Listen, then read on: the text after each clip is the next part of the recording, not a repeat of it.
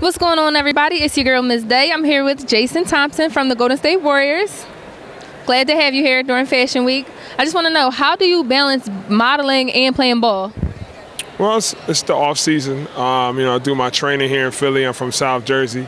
Um, you know, knew about uh, you know uh, you know Philly Fashion Week for a while now. Usually I'm out of town and stuff like that, but you know I found uh, some friends in the fashion clothing lines, and you know they asked me uh, you know to do uh, you know certain things, and I was helping out a friend, and, and I've done modeling too, so it's fun.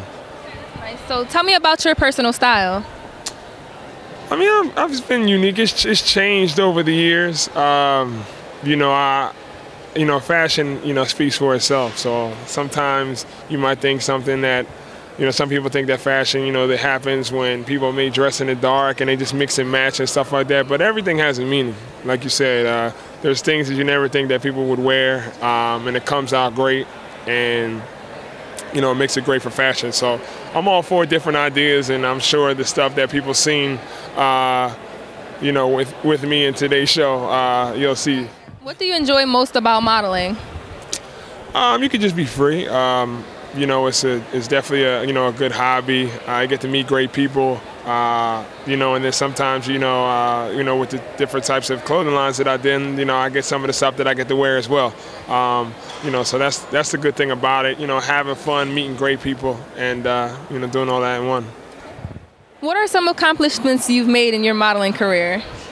Um, you know, it's not my first, uh, you know, fashion show I've done. You know, I'm learning from each one. Obviously, there might be times where it's easier to walk in certain type of clothes, how tight they are, and stuff like that. But I'm, I'm excited for the opportunity. Like you said, um, who knows? I would have been doing this, you know, as a kid. Obviously, I'm doing something I love and playing basketball.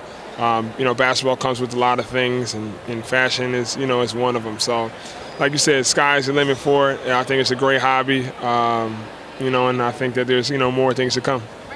Of course. So, what does fashion mean to you?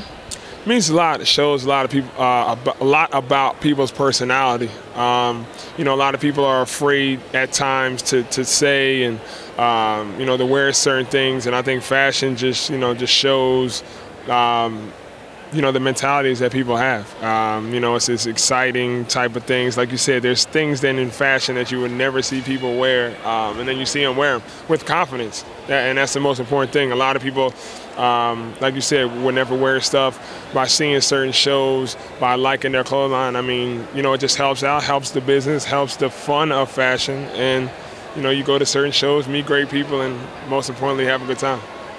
Thank you so much, Jason. It's Ms. Day, Jason Thompson, Press Pause Productions.